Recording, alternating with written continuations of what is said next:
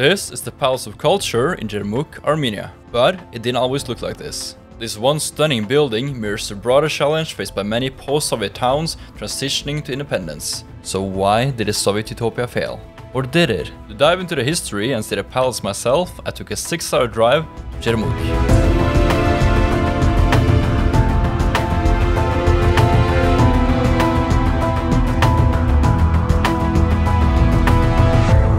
Alright, so now we're finally here. I'm doing intro in the car because it's so cold outside. But uh, yeah, we're finally here, ready to explore. It's in the morning, so hopefully we won't have any people we'll meet on the way. But uh, yeah, let's get started. I want to spend as little time as possible here, to be honest, because it's just way too cold. During the Soviet times, Jermuk was celebrated as a destination for medical tourism, drawing visitors from across the Soviet Union to its therapeutic mineral springs, alpine scenery and fresh air.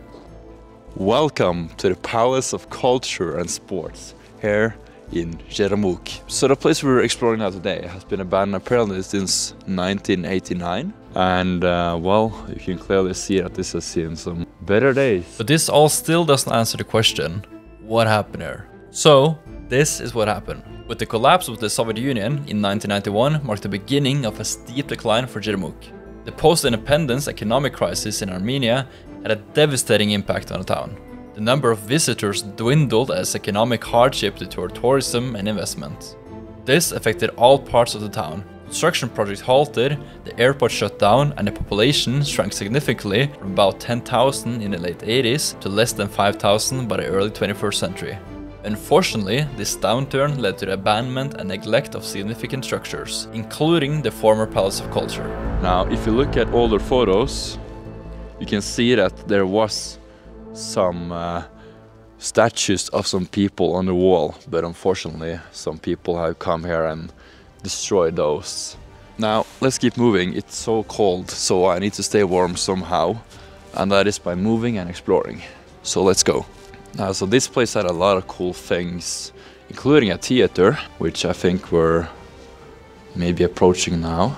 Some other significant buildings that still sit abandoned in Jermuk include a cinema, this 14-story tall hotel, and the airport. But today we'll solely focus on the Palace of Culture. The Palace of Culture in Jermuk is a large symbol of Soviet modernism.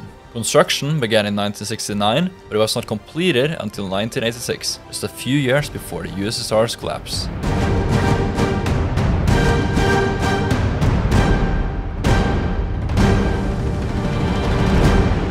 I'm interested in seeing what is in this direction. This building has, if you count the basement, I think it has five floors. You can see you can go even like further up that staircase there. Going up the crumbling staircase. Hopefully it's gonna hold me. Okay, I actually see what this is. This in here is the swimming pool. This building even had a swimming pool and a theater. Like, this building has had everything, you know? It's amazing. Yeah, look at this. The decline of the building can be attributed to the broader transition facing Armenia at the time. This left almost no room for the maintenance and operation of such a facility. Promises of restoration by a private investor fell through due to financial difficulties, leaving the building as a symbol of Jermuk's Soviet past.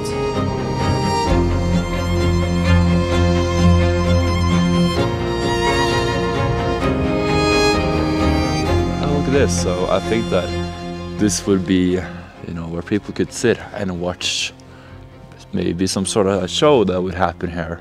Probably some athletes came here and, uh, you know, performed some kind of sport challenge, whatever, gained some medals and took it back to their home place.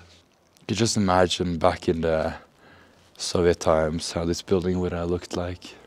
Now it's just crumbling away. Unfortunately, the sculptures on the wall are destroyed, like we saw earlier. But after doing some research, I found out that the sculptures on the wall were some of Armenia's greatest. This includes people like the composer Komitas, the poet Paruyr Sevak, and the painter Martiros Saryan, who has some absolutely stunning pieces of work. Right, let's set up the staircase here and check out the third floor. Oh wow, here we get like a really really cool view. In recent years, Jermuk has shown signs of revival as a medical and recreational tourist destination. Yet, the remains of the Soviet era past, like the Palace of Culture, remain either underused or completely abandoned. Hopefully, the buildings that was once a part of a Soviet utopia can be transformed into something new and valuable for the local community, bringing new life into this forgotten place. But for now, these structures stand as a silent reminder to a bygone era.